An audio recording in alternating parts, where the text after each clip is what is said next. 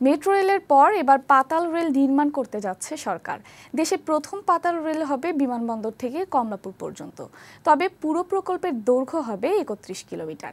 দ্বিতীয় অংশ গুলশানের নতুন বাজার থেকে পূর্বাচল পর্যন্ত এগারো কিলোমিটার হবে মাটির ওপর দিয়ে। সম্ভাব্যতা যাচাই শেষে চলছে নকশা তৈরির কাজ। দুই হাজার ছাব্বিশ সালের মধ্যে দেশের প্রথম পাতাল রেল নির্মাণ শেষ করতে চায় সরকার। পার্থ রহমানের বিশেষ প্রতিবেদন। ঘনবসতিপূর্ণ রাজধানীর যোগাযোগ ব্যবস্থার উন্নয়নে metro rail, elevated express, way সহ নানা কার্যক্রম বাস্তবায়ন করছে সরকার। এবার দেশের প্রথম পাতাল রেল নির্মাণের উদ্যোগ নেওয়া হয়েছে। জাপানের ওসাকা শহরের পাতাল রেলের আদলে নির্মাণ করা হবে ঢাকার পাতাল রেল।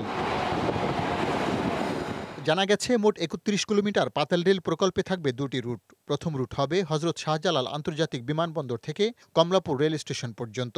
বিশ কিলোমিটার দৈর্ঘ্যের এই অংশ হবে দেশের প্রথম পাতাল রেল। মাটির তেইশ ফুট নিচ দিয়ে এর নির্মাণ কাজ শুরু হবে দু হাজার বাইশ সালের শেষের দিকে। এই প্রকল্পের অন্য অংশ হবে গুলশানের নতুন বাজার থেকে পূর্বাচল পর্যন্ত। সভা কিছু অবজারভেশন দিয়েছেন পর্যবেক্ষণ দিয়েছেন।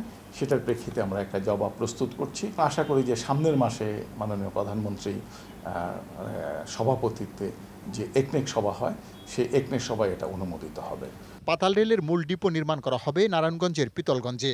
এরই মধ্যে সেখানে জমি অধিগ্রহণের কাজ শুরু হয়েছে। ভূমি অধিগ্রহণ কাজটা শেষ করার পরে কিন্তু এটা ভূমি উন্নয়নের কাজটা শুরু হয়। যাতে আমরা অন্যান্য মূল কাজে আসার আগে ভূমি উন্নয়ন এবং ভূমির যে পূর্ত কাজ, এটা শেষ করব যাতে নির্ধারিত সময় শুরু করতে পারি।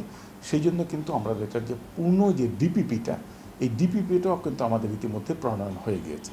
প্রকল্প সংশ্লিষ্টরা জানান, মূল সড়কের নিচ দিয়ে পাতাল রেল যাবে। এই প্রকল্পের সম্ভাব্যতা যাচাই শেষে এখন চলছে মূল নকশা তৈরির কাজ। তা চূড়ান্ত হলেই মাটির নিচে থাকা গ্যাস, বিদ্যুৎ, পানি, টেলিফোন সহ বিভিন্ন পরিষেবা স্থানান্তরের কাজ শুরু হবে। প্রকল্পের সম্ভাব্য ব্যয় ধরা হয়েছে বান্ন হাজার কোটি টাকা। পার্থ রহমান, বৈশাখী সংবাদ, ঢাকা।